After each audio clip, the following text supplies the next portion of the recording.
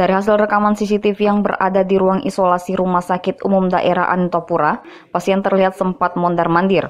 Begitu mendapatkan celah, pasien tersebut langsung kabur melalui pintu samping ruang isolasi. Kaburnya pasien ini diketahui oleh pihak rumah sakit saat hendak melakukan pengambilan sampel swab yang kedua. Saat petugas mendatangi ruangan, petugas tidak menemukan pasien.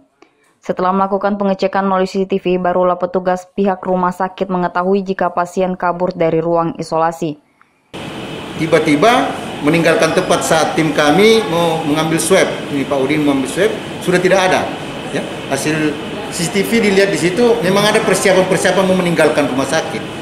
Memang sejak awal dia memang tidak merasa nyaman karena dia kan ini istrinya kalau tidak salah mau melahirkan katanya. Sehingga dia selalu mau tidak nyaman gitu. Istrinya posisinya di mana? Ya? Istrinya? Istrinya di Sulawesi Selatan. Di Sulawesi Selatan. Daerah Takalar kalau tidak salah ya, kalau tidak salah Pasien diduga kabur dari ruang isolasi COVID-19 dikarenakan istrinya yang akan melahirkan di kampung halamannya di Takalar, Sulawesi Selatan.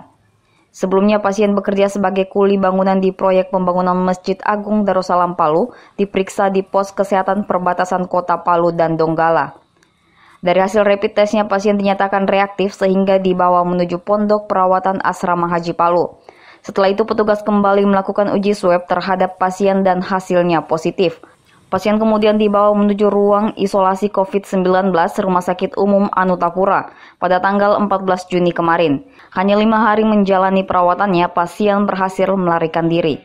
Untuk mengantisipasi hal yang sama tidak terulang lagi, pihak Rumah Sakit Anutapura akan memberikan foto pasien kepada petugas keamanan rumah sakit Selain itu, pihak rumah sakit juga telah berkoordinasi dan meminta bantuan kepolisian TNI dan Dishub yang bertugas di pos kesehatan perbatasan Kota Palu untuk memeriksa setiap warga yang akan meninggalkan Kota Palu. Hal ini dilakukan sebagai upaya pencarian terhadap pasien.